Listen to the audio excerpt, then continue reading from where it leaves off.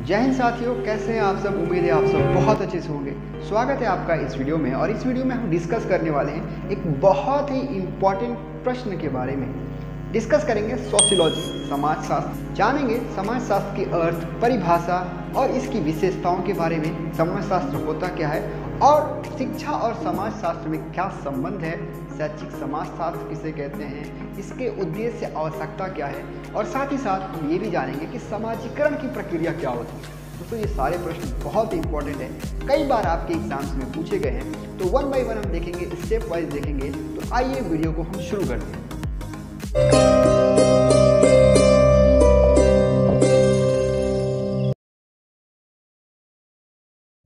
दोस्तों, सबसे पहले देखते हैं कि समाज शास्त्र होता क्या आपको समाज शास्त्र को अंग्रेज़ी में कहते हैं सोशियोलॉजी और सोशियोलॉजी दो शब्दों से मिलकर बना सोशियोस प्लस लोगोस सोशियस को कहते हैं समाज और लोगोस को कहते हैं, और लोगोस का मतलब होता है विज्ञान। अर्थात समाज का विज्ञान। इसको आसान से शब्दों में अगर हम कहें कि समाज शास्त्र का अर्थ क्या होता है, कि what is the meaning of sociology so the scientific study of the society is known as the sociology समाज का वैज्ञानिक अध्ययन समाजशास्त्र कहलाता है। और ये मेरी बात नहीं महान विद्वानों ने भी समाजशास्त्र को इसी प्रकार से परिभाषित किया है। आइए नज़र डालते हैं कि समाजशास्त्र की परिभाषा क्या होती है। कहा है कि समाजशास्त्र की परिभाषा देते हुए वार्ड महोदय ने कहा था कि sociology is the science of society. Ward ने क्या कहा था? समाजशास्त्र समाज का विज्ञान है। और इसके अलावा अगर हम बात करें बच्चों गिडिंग्स ने कहा था कि sorry sociology is the scientific study of society same वही बात की जा रही है। बार बार वही चीज़ें आपको सुनने को मिलेगा कि समाजशास्त्र क्या है। समाज का वैज्ञानिक अध्ययन है। बहुत ही आसान शब्दों में और जो अच्छे डेफिनेशन से वही आपके लिए लाया गया है। ऑडम कहते हैं कि sociology is the science that study society बात वही है।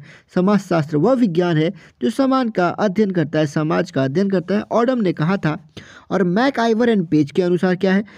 समाजशास्त्र सामाजिक संबंधों के विषय में संबंधों के जाल का, जाल को हम समाजशास्त्र कहते हैं। मतलब the sociology the about social relations we call the network of relationship जो भी हमारे रिश्तों का नेटवर्क होता है, अंतर्जाल होता है, उसी को हम क्या कहते हैं बच्चों? समाजशास्त्र कहते हैं। अब आइए। हम चलेंगे अगले पॉइंट्स को देखेंगे। आसान से शब्दों में अगर आपसे कोई एक शब्द में पूछे कि समाज शास्त्र को आप एक शब्द में ऐसे कैसे क्या कहेंगे तो आप आसान से शब्दों में यहाँ लिखिए बच्चों कि समाज शास्त्र क्या है? समाज शास्त्र ज्ञान की वह शाखा है इसमें समाज अथवा सामाजिक संबंधों का वैज्ञानिक अध्ययन किया जाता है। बहुत ही बेहतरीन यहाँ पे आपको डेफिनेशन मिल जाएगा। किया जाता है। और सामाजिक संबंधों को समझने के लिए सामाजिक क्रियाओं, सामाजिक अंतर क्रियाओं और इन सब क्रियाओं के परिणामों का अध्ययन किया जाता है। तो बच्चों, समाजशास्त्र की यहाँ पे आपको सबसे स्पष्ट यहाँ पे डेफिनेशन मिल गई। वो क्या है कि समाजशास्त्र क्या है हमारा? समाजशास्त्र ज्ञान की एक शाखा है जिसके अंदर समाज अथवा सामाजिक संबंधों के वैज्ञानिक अध्ययन किया जाता है। और सामाजिक संबंधों को समझने के लिए सामाजिक क्रियाओं, सामाजिक अंतर क्रियाओं और इन सबके परिणामों का भी अध्ययन किया जाता है। तो ये यहाँ तक बात हो गई हमारी समाजशास्त्र के परिभाषा की। अगला पॉइंट जो कि बहुत ही ज़्यादा इंपॉर्टेंट है वो है हमारा बच्चों। कि सब... दोस्तों, आइए जानते हैं कि समाज शास्त्र का विषय क्षेत्र, यानी कि उसके स्कोप्स कहाँ हैं, कहाँ कहाँ पे समाज शास्त्र का इस्तेमाल किया जाता है, और किस तरीके से हम सामाजिक अध्ययन में समाज शास्त्र का इस्तेमाल करते हैं, और साथ ही साथ हम ये भी जानेंगे कि शिक्षा का समाज शास्त्र पर क्या प्रभाव पड़ता है। The impact of education on the sociology इसको भी हम देखेंगे तो आइए इसको देखते हैं बच्चों। समाज शास्त्र की जो क्षेत्र होते हैं, आप समाज शास्त्र को कौन कौन से क्षेत्र में इसका अध्ययन कर सकते हैं? तो देखिए, बड़ी ही सिंपल सी बात है कि समाज अथवा सामाजिक संबंधों के वैज्ञानिक अध्ययन, ये तो हम सब जानते हैं। इसके अलावा आधारभूत सामाजिक समूहों का अध्ययन, जैसे परिवार, जाति, प्रजाति, धार्मिक, आर्थिक, राजनीतिक, शैक्षिक, मनोरंजनात्मक, कल्याणकारी संस्थाएँ। मतलब जो भी आपकी धार्मिक संस्थाएँ हैं, आर्थिक संस्थाएँ हैं, राजनीतिक संस्थाएँ हैं, शैक्षिक तथा मनोरंजनक संस्थाएँ इन सब का अध्ययन भी समाजशास्त्र के क्षेत्र के अंतर्गत आता है। अगले पॉइंट की बात करें तो सामाजिक अंतक्रिया मतलब हमारे अंदर कुछ अंतक्रियाएँ जैसे कि प्रेम और द्वेष की भावना, सहयोग और संघर्ष की भावना, इसका अध्ययन भी किसके अंतर्गत आता है बच्चों? समाजशास्त्र के अध्ययन के अंतर्गत आता है। तो समाजशास्त्र का क्षेत्र बहुत ही विस्तृत है। हम सामाजिक नियंत्रण कारक तत्व का अध्ययन करते हैं, जैसे कि संस्कृति, धर्म, परंपरा, रीति रिवाज, लोक रीति, नीति, विश्वास, मूल्य आदि, इन सब का अध्ययन समाजशास्त्र के क्षेत्र के अंतर्गत ही आता है। और सामाजिक परिवर्तन के कारक तत्वों का अध्ययन कि समाज जो परिवर्तन परिवर्तन हो रहा है, उसके क्या कारक तत्व हैं, इन सब का अध्ययन किसके अंतर्गत आता है? समाजशास्त्र के विषय क्षेत्र के अंदर आता है, बच्चों। दोस्तों, अगर आपसे सवाल ये पूछता है कि शिक्षा का समाजशास्त्र पर प्रभाव बताइए तो हमने क्या देखा? समाजशास्त्र वास्तव में है क्या? समाजशास्त्र, समाज का वैज्ञानिक अध्ययन है तो हम आसानी से कह सकते हैं कि शिक्षा जो है समाजशास्त्र के निर्माण का, की आधारशिला है। मतलब वो आधार है जिस पे समाजशास्त्र का निर्माण किया जाता है, और शिक्षा समाजशास्त्र को आगे बढ़ाती है। शिक्षा के माध्यम से ही हम समाज का अध्ययन करते हैं तो शिक्षा हमारा क्या है? समाजशास्त्र का आधार है, और शिक्षा ही समाज को समाजशास्त्र को आगे बढ़ाती है। ये हम आसानी से कह सकते दोस्तों, अब हम देखेंगे बहुत इंपॉर्टेंट प्रश्न। कई बार ऐसे सवाल आपसे पूछा जाता है कि शैक्षिक समाजशास्त्र से आप क्या समझते हैं? ठीक है? एजुकेशन सोशोलॉजी तो अब हम इसको देखेंगे, शैक्षिक समाजशास्त्र, और इसको कहते किसे हैं, और इसका उपयोग क्या है, इसका इस्तेमाल क्या है, और इसकी अर्थ और परिभाषा जानेंगे। यानी कि हम शैक्षिक समाजशास्त्र के बारे में देखते हैं। आपने समाजशास्त्र में समाज का वैज्ञानिक अध्ययन किया। अब शैक्षिक समाजशास्त्र देखिए। शिक्षा और समाज के आपसी संबंधों का अध्ययन से बीस, बीसवीं शताब्दी में एक नए अनुशासन का विकास हुआ, जिसे हम शिक्षा समाजशास्त्र कहते हैं। अमेरिका के जॉर्ज पायन को इसका जन्मदाता माना जाता है। यानी कि शैक्षिक समाजशास्त्र के जन्मदाता किसको माना जाता है? बच्चों, वो माना जाता है कि जॉर्ज पायन को इसका जन्मदाता माना जाता है। अब यहाँ पे आप पॉइंट नोट करिए। शैक्षिक समाजशास्त्र व्यक्ति, समाज, सामाजिक संस्थाओं, सामाजिक समूहों और सामाजिक वर्गों आदि का अध्ययन किया जाता है और देखा जाता है कि इन सब का मनुष्य के विकास पर क्या प्रभाव पड़ता है और फिर इस आधार पर शिक्षा का स्वरूप निश्चित किया जाता है। अपने समाजशास्त्र में समाज का वैज्ञानिक अध्ययन किया। अब शैक्षिक समाजशास्त्र में आपने जो अध्ययन से निष्कर्ष निकाला उस समाज के लिए कौन सी शिक्षा अच्छी है? शिक्षा में क्या सुधार करना चाहिए? शिक्षा का कैसा स्वरूप होना चाहिए? उस अध्ययन के पश्चात जो शिक्षा का स्वरूप आप निश्चित करते हैं, वास्तव में वही समाज शास्त्र कहलाता है, शैक्षिक समाज शास्त्र कहलाता है। तो आपने यहाँ पे देखा कि शैक्षिक समाजशास्त्र क्या क्या होता है बच्चों? शैक्षिक समाजशास्त्र, जिसमें व्यक्ति, समाज, सामाजिक संस्थाओं, सामाजिक समूह और सामाजिक वर्गों आदि का अध्ययन किया जाता है। और देखा जाता है कि इन सबका मनुष्य के विकास पर क्या प्रभाव पड़ा। मैं अगर सिंपल सी बात कह दूँ कि आप देख रहे हैं कि बच्चों के अंदर रटन विद्या आ रही है। मतलब उसके पास रटने की क्षमता ज़्यादा आ रही है, वो समझ नहीं रहे तो आप शिक्षा में ऐसे उसके स्वरूप का निर्माण करेंगे, जहाँ पे बच्चे समझने की बात करें। या फिर अगर आप देखेंगे कि बच्चे फिजिकली कमज़ोर हो रहे हैं, उनके खेल कूद की एक्टिविटीज़ नहीं हो रही है तो आप शिक्षा का एक ऐसा स्वरूप निश्चित करेंगे, जिसमें बच्चों को खेल कूद करने की एक्टिविटीज़ मिलेगी और बच्चे और फिजिकली स्ट्रांग होंगे। तो आपने समाज का अध्ययन करके, उसके निष्कर्ष के आधार पर जो शिक्षा का स्वरूप निर्धारित किया, उसी स्वरूप को हम शैक्षिक समाजशास्त्र कहते हैं तो ये हो गई बात शैक्षिक समाजशास्त्र की। अगर हम आगे बात करें शैक्षिक समाज की परिभाषाओं के बारे में तो आपको यहाँ पे बिल्कुल समझ में आ जाएगा। शैक्षिक समाजशास्त्र के जन्मदाता हम माने थे किसको? जॉर्ज पॉयल को, जॉर्ज पायन को, ठीक है? अब जॉर्ज पायन ने क्या खुद परिभाषा दी अब यहाँ पर देखिए। शैक्षिक समाजशास्त्र से हमारा अभिप्राय है, विज्ञान से है, जो संस्थाओं, सामाजिक समूह और सामाजिक प्रक्रियाओं के अर्थात उन सामाजिक संबंधों जिनमें जिनमें अथवा जिनके द्वारा व्यक्ति के अनुभवों को प्राप्त और संगठित करता है, वर्णन करता है और व्याख्या करता है। इन्होंने कहा था कि शैक्षिक इन्होंने सिंपल ऐसे कह दिया कि शैक्षिक समाज से हमारा अभिप्राय उस विज्ञान से कौन सा विज्ञान? जो अनुभवों को प्राप्त और संगठित करता है और उनका वर्णन और व्याख्या करता है। किसके अनुभवों को? संस्थाओं के, सामाजिक समूहों के, सामाजिक प्रक्रियाओं अर्थात सामाजिक संबंधों का इनके अनुभवों को प्राप्त करता है संगठित करता है और इनका अन, उनका वर्णन करता है। ऐसे विज्ञान को इन्होंने शैक्षिक समाजशास्त्र कहा था। ये हैं जॉर्ज पॉयन जिनको हम समाज शैक्षिक समाजशास्त्र के जन्मदाता भी कहते हैं। दूसरी अगर परिभाषा की बात करें गुड महोदय ने क्या कहा था? शैक्षिक समाजशास्त्र इस बात का वैज्ञानिक अध्ययन है कि व्यक्ति समाज के समूह में किस प्रकार से रहते हैं ठीक है?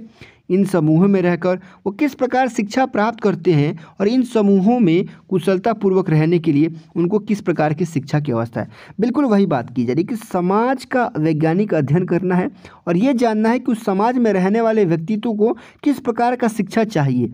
इसी का अध्ययन और इसी का वैज्ञानिक अध्ययन शैक्षिक समाजशास्त्र कहलाता है। ये बहुत ही बेहतरीन डेफिनेशन दिया गया था किसके द्वारा? गुड महोदय के द्वारा। आइए हम कुछ और डेफिनेशन देख लेते हैं बच्चों। कुछ और डेफिनेशन की अगर हम बात करें तो ब्राउन महोदय की शब्दों में अगर हम बात करें कि ब्राउन महोदय ने इसके कैसे कहा था तो इन्होंने कहा था कि शैक्षिक समाजशास्त्र समाजशास्त्र के सिद्धांतों को शिक्षा में संपूर्ण प्रक्रिया पर लागू करना है। इन्होंने ब्राउन ने कहा था। ओटावे महोदय ने बहुत संक्षिप्त में कहा था कि शैक्षिक समाजशास्त्र की संक्षिप्त परिभाषा इस प्रकार से की जा सकती है कि वह शिक्षा और समाज के पारस्परिक संबंधों का अध्ययन है। शिक्षा का भी और समाज का भी, दोनों का अध्ययन शैक्षिक समाजशास्त्र कहलाते हैं। तो चलिए परिभाषा को हम यहाँ पे थोड़ी देर के लिए रोकेंगे। अब हम नेक्स्ट पॉइंट पे चलते हैं। वो ये है बच्चों कि समाज शास्त्र की, शैक्षिक समाजशास्त्र की आवश्यकता, उपयोगिता और महत्व। आखिर इसका महत्व क्या है? तो जब आप किसी समाज के बारे में वैज्ञानिक अध्ययन करेंगे तो सबसे पहली चीज़ कि समाज और उसके विभिन्न स्वरूपों, प्रकृति तथा शिक्षा पर उनके प्रभावों का ज्ञान हो जाएगा आपको। शिक्षा का संप्रत्यय स्पष्ट हो जाएगा कॉन्सेप्ट आपका क्लियर हो जाएगा और शिक्षा के उद्देश्यों को निश्चित करने में सहायता। कि आप अगर शिक्षा दे रहे हैं तो उस शिक्षा का उद्देश्य क्या है, आप ये सारी चीज़ें निश्चित कर लेंगे। इसके उद्देश्य निश्चित करने में आपको सहायता मिलेगा। यही शैक्षिक शास्त्र की उपयोगिता और महत्व है। चौथा है बच्चों, शिक्षा के पाठ्यक्रम के निर्माण में सहायता। आपको किस प्रकार का पाठ्यक्रम चाहिए या किस पे आधारित होगा कि उस समाज के लोग कैसे हैं? उस समाज का जब अध्ययन करेंगे, तभी हम प्राप्त कर सकते हैं।